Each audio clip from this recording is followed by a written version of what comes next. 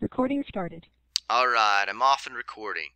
Uh, as I said, hopefully I don't have to like run out there real quick. I got a little sick kid that's uh, watching Baby Shark, so I'm hoping that uh, entertains him enough Was we're, we're going for those of you guys that just came in.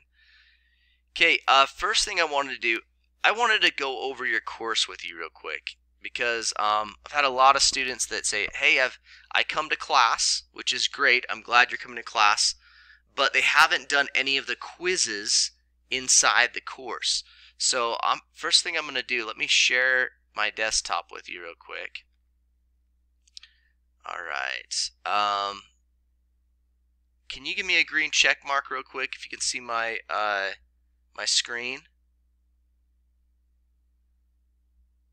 Very good. Okay, you guys are all with me, at least somewhat. Alright, so as you log into your OLS, make sure you click on Geography, okay? Um, every day at the very front of the page, I have this announcement board right here.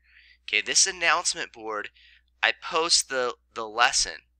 Um, so if you've missed the lesson today, it's all going to be recorded here. So I have lesson 5, lesson 4, lesson 3, lesson 2, all those ones from the very beginning, okay?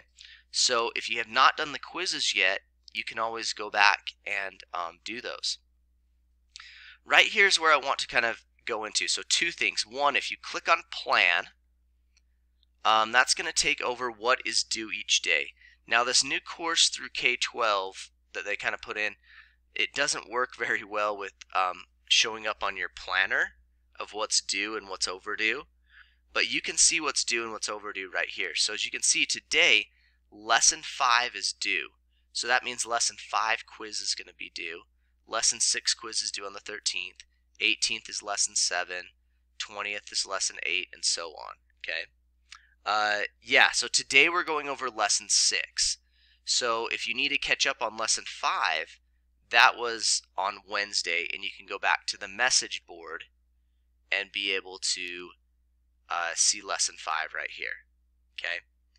In order to take the quizzes, what you need to do Oh, you're fine if you're late. That's no problem. What you do is you come up to the top here. We click on content. And then the content is going to bring us over um, to our courses. Over here on the left hand side, we have uh, Unit 1. And if you click on Lesson 1, okay, that's going to show what you need to go through. So basically, you go through these things right here and take the quiz here. Okay. Lesson 2 is going to be right here. You go through what you need to learn, okay, and you go over lesson 2 right here, okay, and so on until you um, you've done all the quizzes, okay. So that's how you complete the quizzes and get points. So if you have a, like a, if you go into your grade book over here and you have a zero on lesson one, lesson two, lesson three quiz, you need to go through and do that. Okay. All right. Uh, let me stop sharing real quick. Any questions on that so far? Of how to do the quizzes? Um, because it just seems like a lot of people maybe have have not been able to get that so far. Okay, I'm hearing crickets, or at least on the the chat over here. So, um, if you do, if you do need something, I can always set up something where we can go over the things on you. Okay, or with you. All right, so today we're going to be going over the last part of North America. Okay. Um, and so we're going to go over human impact on the environment and then also uh, immigration into uh, North America. Okay, so these are all the the objectives that they kind of have us want to go over on here. We're not going to be get, going through all of those. Some of those are on your OLS, okay? So I don't go over every single thing, but we'll go over a little bit. Okay, so first starting off, human impact um, on the environment. Okay, we know that's one of the themes of geography, and we do a lot of things. Like, for example, can anybody tell me this first picture where I have my hand right there? What is that? Um, that thing right there It's like going around in circles. Anybody tell me what that is? A windmill. All right. So what do windmills do? Okay, yep, wind turbine. Very good. So windmill, wind turbine. And what do they do?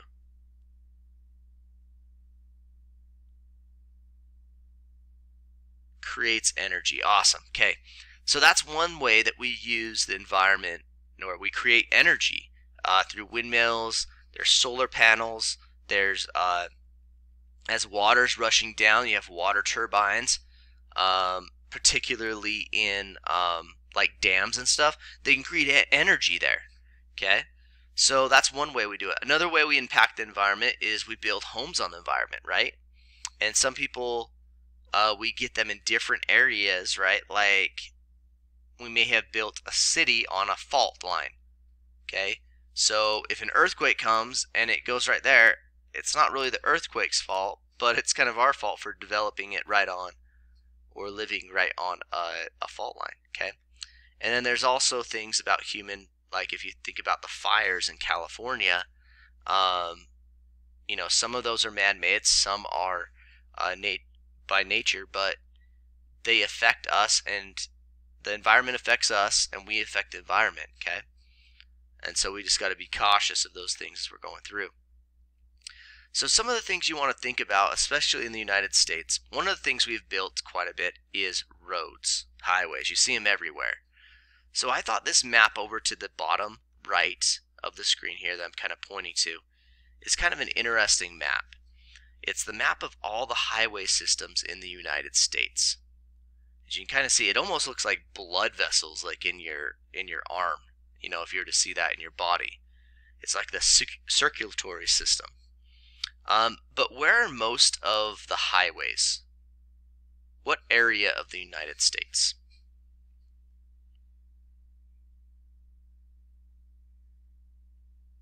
Where are most of the highways? East, yep, the East Coast, okay? And that's for a good reason because if you look over to the left over here, this one talks about the population of cities with larger than 15,000 people. Okay? You can see right here the East Coast, and actually on all of the coast, you have more um, areas that people live. And people live next next to the coast more because there's it's easier to get food, it's easier to get water, and that's just kind of where everybody's kind of the temperature or climate is a lot is not as seasonal as it like is in Utah because you can get really really cold in Utah and really really hot in Utah. But as you can see around the uh, California, um, Oregon, Washington. There's a lot of people that live there. And then, of course, on the East Coast, there's a lot of people. And then around the Great Lakes. Oh, somebody has a question. How do you know about amount of people um, isn't a result of highways? Well, the reason we build highways is for people to travel, right? And the more highways you are, the more people live in those areas. Does that make sense? because we wouldn't want to build a bunch bunch of highways like in Wyoming when there's not a lot of people that live in Wyoming. So ho hopefully that makes makes sense there. Alright, so this is just an A or B, so the green check mark is going to be true, the red X is going to be false. Okay, uh, central to geography is the belief that there is no pattern, regularity, or reason to the location of physical and human phenomena on the Earth's surface. Is that true or false? Okay. Um, so basically what it's saying, right? Okay, so we got a couple people there saying, I'll let you guys answer and then we'll we'll go over it. Okay, awesome. That's creeping up. Let's have everybody answer real quick.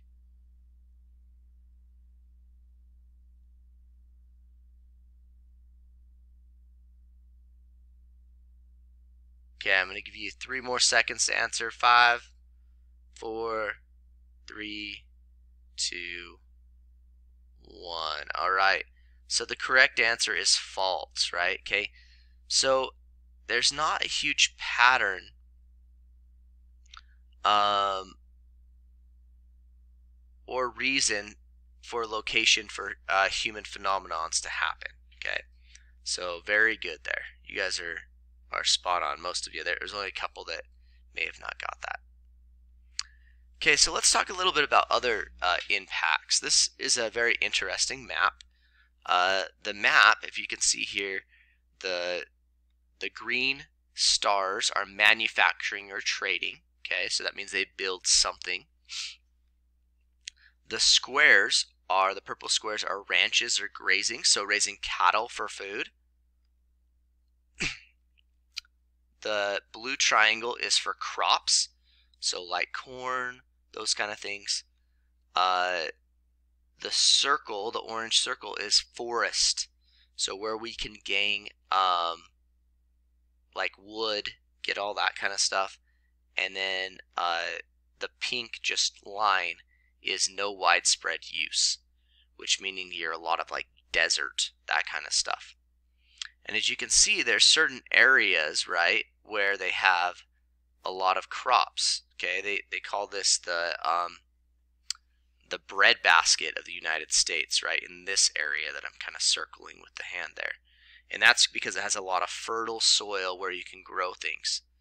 As you can see, a lot of the other areas where you have the prairie lands in Colorado, Utah, New Mexico, some in Texas, that's where they have a lot of um, ranches and they grow cattle so we can eat them.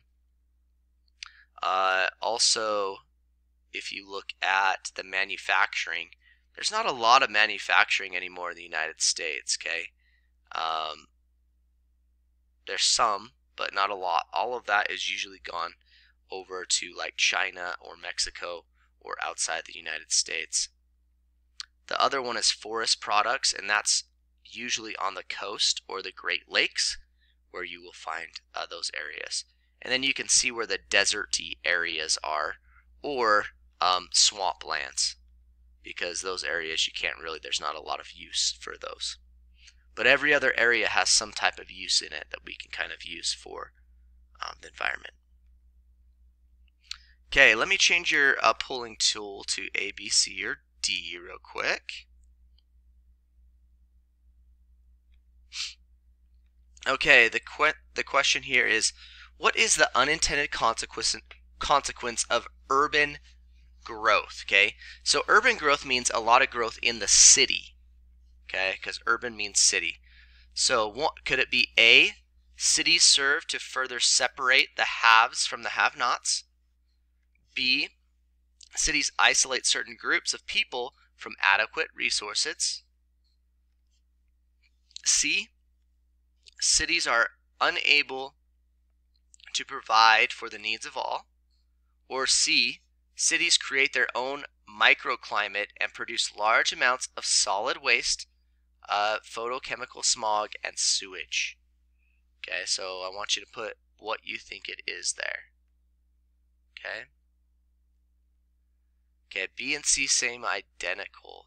Uh, yeah, they're they're similar, right? So probably not one of those, right?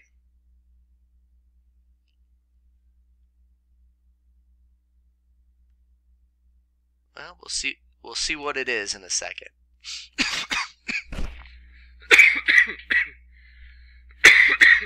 Sorry for my cough, guys. I'm trying to get over that sickness as well. All right, so we got a lot of you. Uh, yeah, I'm just coughing out loud. All right, so some other people, so maybe you've changed your mind. Okay, the correct answer is D. That's right. Okay, so if you change your answer to D, that's fantastic. So basically, cities, they create their own basically area, big cities do. And they they have large amounts of waste. So there's where do we put all of like the garbage that we have, all of that kind of stuff. You think of sewage.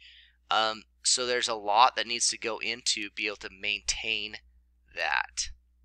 Hey, thank you. I appreciate it. I probably need some hot beverage to to soothe my throat there. You guys are awesome. Appreciate it. Okay. Um, all right. So uh, here's the last one that we're going to kind of talk about is immigration. Okay. So immigration is big into North America. It's been a, a subject of a lot of political debate uh, as of recently as well. Um, no matter what you think about it, uh, there's just some some terms that I think you probably would need to know and be familiar with. So the first one is uh, immigrant. Okay, agreement immigrant is a person who leaves one country to settle permanently in another after being uh, granted permission by that government. Okay, so not all immigration is bad, and I and I would say that it's good to have that influence of others in here. But there's two terms that are um, the same, and they are illegal immigrant or undocumented immigrant. Okay. Um, so an illegal immigrant is somebody that comes over to, like, for example, the United States without permission. Okay, and they are actually called um, an alien. Okay, uh, because they are not from the United States and that. So we have on our exit ticket the secret word, as you can see at the bottom right. So for those that want to do good on their exit ticket, they have it down here. Um, so just know that that is somebody that has entered in illegally uh, without having documentation. Okay. All right. Okay, so perfect timing because my son is now coming in, and I'll lead you guys to your exit ticket real quick. Um, I'll have you guys. I'll bring my son up here so he can say hi to you. Can you say hi? Hi. so uh, I sent that exit ticket over. I will open up the slides for you guys. Um, oh, they're saying hi. Yeah, I can uh, email that link over too. So, all right. Well, I'm gonna stop recording real quick. I'll stick around for any questions and everything, and I'll get him um, situated too. Recording